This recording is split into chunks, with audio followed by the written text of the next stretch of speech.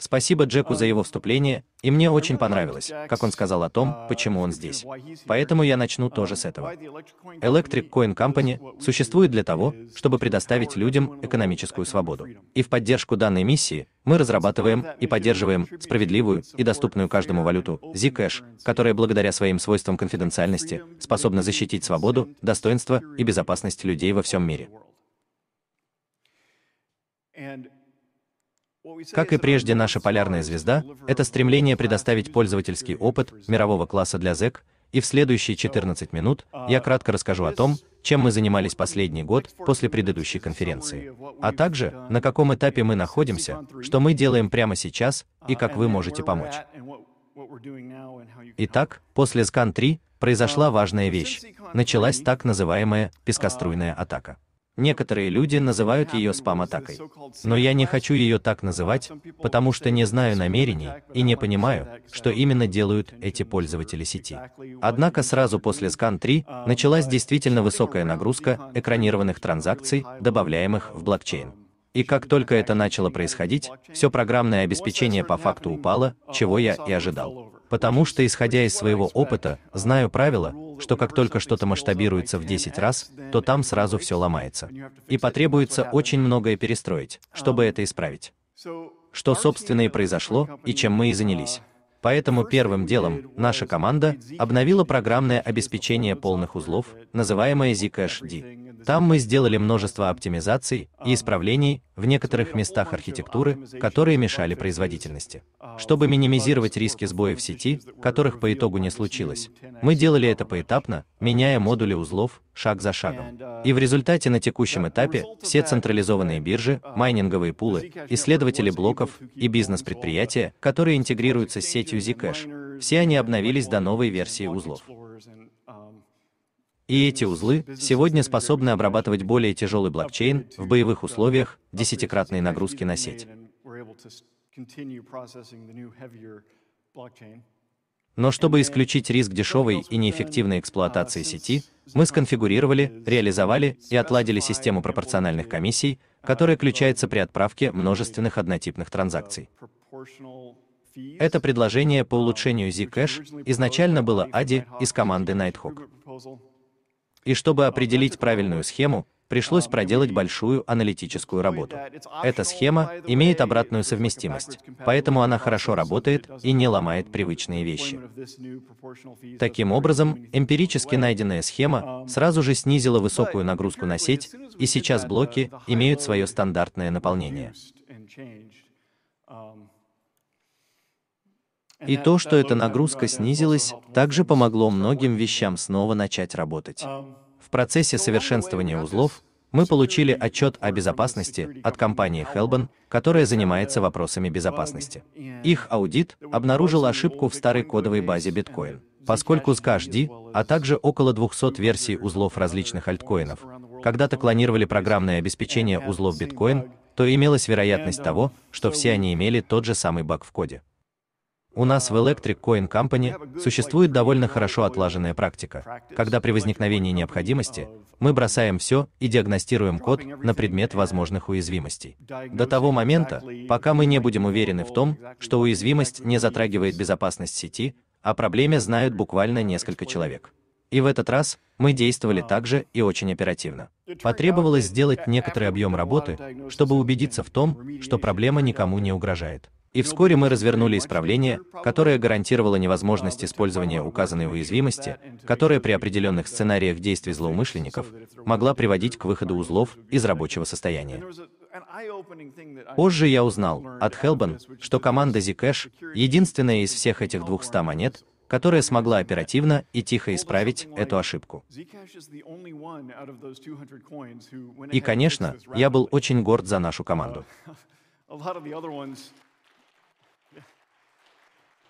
В программном обеспечении всегда могут быть ошибки, и в этом смысле меня обнадеживает тот факт, что ECC имеет крутую команду инженеров. Мы также плотно сотрудничаем с инженерами Zcash Foundation, которые заняты разработкой узлов Zebra, и Тейлором Хорнби, который является независимым специалистом по безопасности.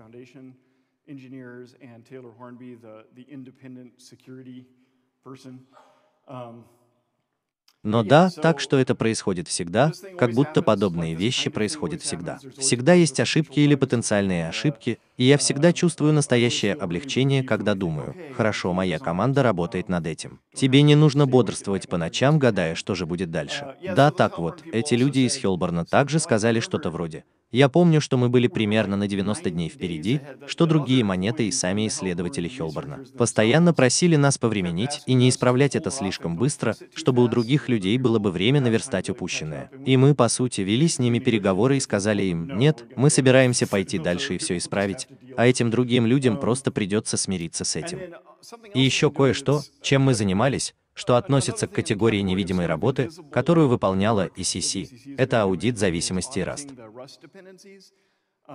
Речь идет о безопасности. Компьютерная безопасность – это одна из тех вещей, когда, когда все идет правильно, никто не замечает и не понимает, что ты что-то сделал. Но в настоящее время во всем компьютерном мире существует широко распространенная проблема, называемая атаками на цепочки поставок или зависимостями от цепочек поставок. И мы занимаемся тем, чем я действительно горжусь и чему очень рад, а именно проверяем все различные кодовые базы, от которых зависит Zcash и другое программное обеспечение Zcash.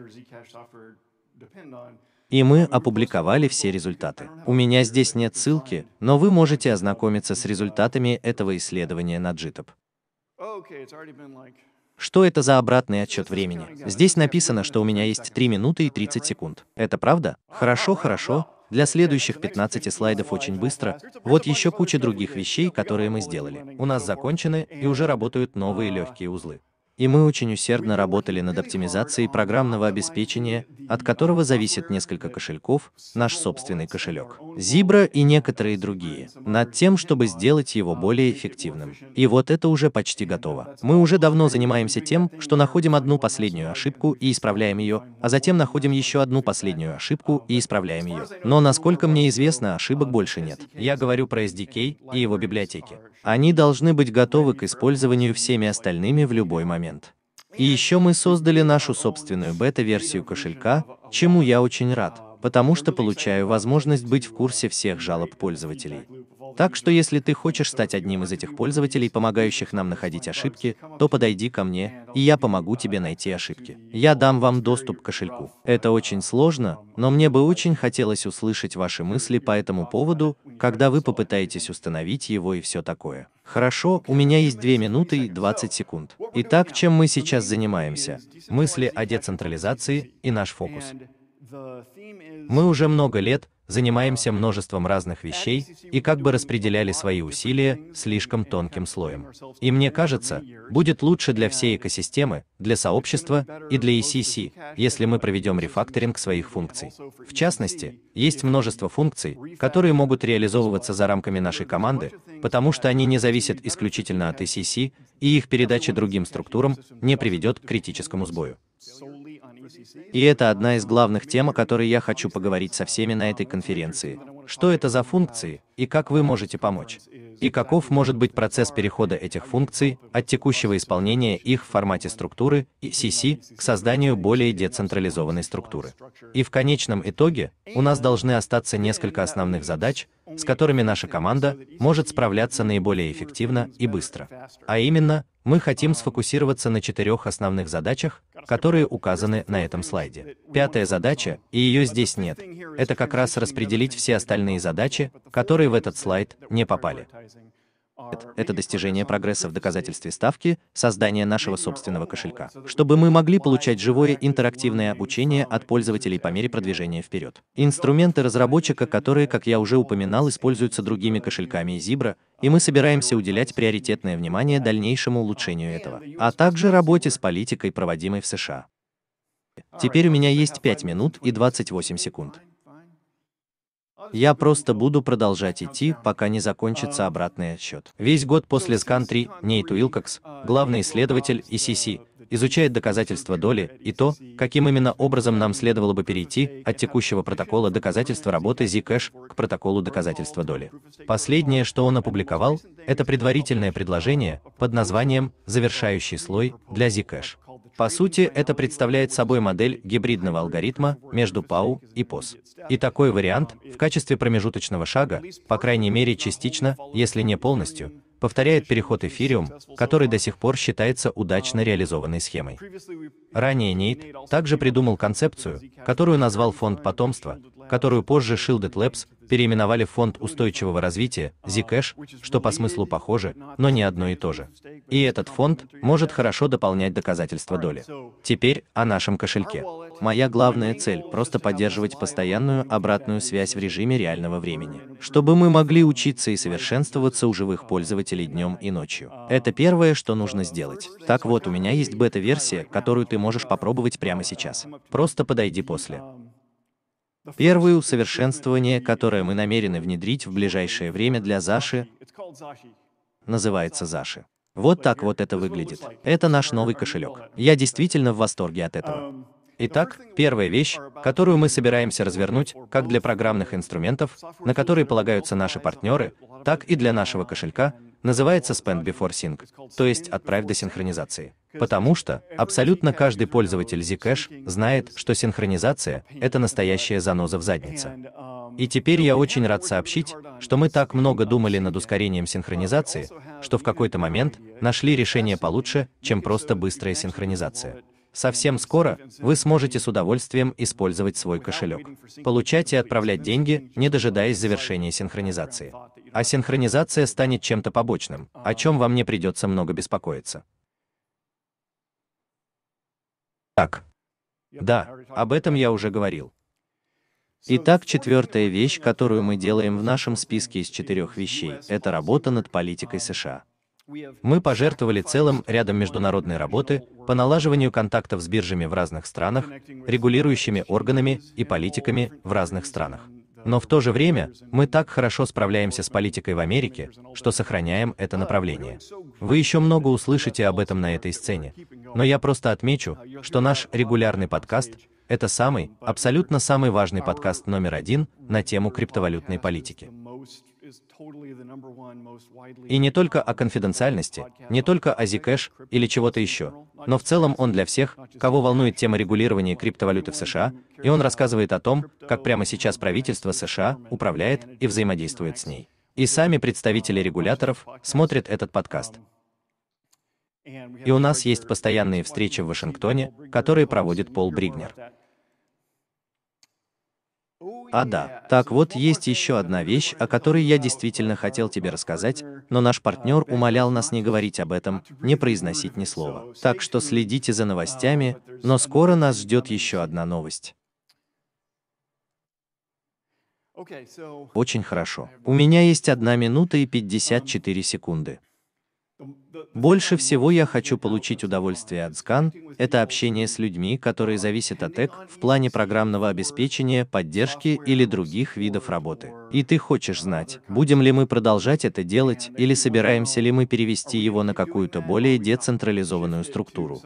И если да, то что именно? А также люди, которые хотят помочь в создании этой децентрализованной структуры. Существует множество вещей, выходящих за рамки четырех основных областей, которые я только что перечислил. Это очень большая проблема, там, по крайней мере, две очень большие проблемы, но, вероятно, их еще больше, потому что я постоянно сталкиваюсь с тем, что люди говорят, черт возьми, разве Эк не справляется лучше с X? И я такой, о да, X. Ладно, это примерно 20 вещь в списке вещей, в которых люди зависят от нас. Так что если у тебя есть какие-то потребности, пожалуйста, подойди ко мне и давай поговорим об этом. А также, если ты хочешь помочь людям в их нуждах, давай поговорим об этом. Но на два важных вопроса у меня есть 50 секунд. Это два самых больших набора вещей, которые AC исторически делала и которые нам нужно децентрализовать как для устойчивости каш, так и для эффективности ECC. Первое — это вся цифровая собственность, веб-сайт, Twitter, NFT Kefirpunk Zero и все, что с этим связано. Это довольно сложно, как будто я думаю про себя. Эй, веб-сайты, я уже создавал веб-сайты раньше. Ты запускаешь Nginx и редактируешь HTML-файлы или что-то в этом роде. Но в наши дни очень многое зависит от этого, и мы хотим следовать этому примеру. Хорошо, у меня есть 15 секунд. Мы хотим следовать модели фонда Ethereum, где сообщество предоставляет контент и поддерживает его на веб-сайте. И еще одна большая категория — это Zcashed. Каждый человек во всем зависит от Zcashed, а это очень много. Так что если ты зависишь от Zcashed или хочешь помочь, давай поговорим об этом. Спасибо, что выслушал меня. Мне не терпится поговорить с тобой на конференции.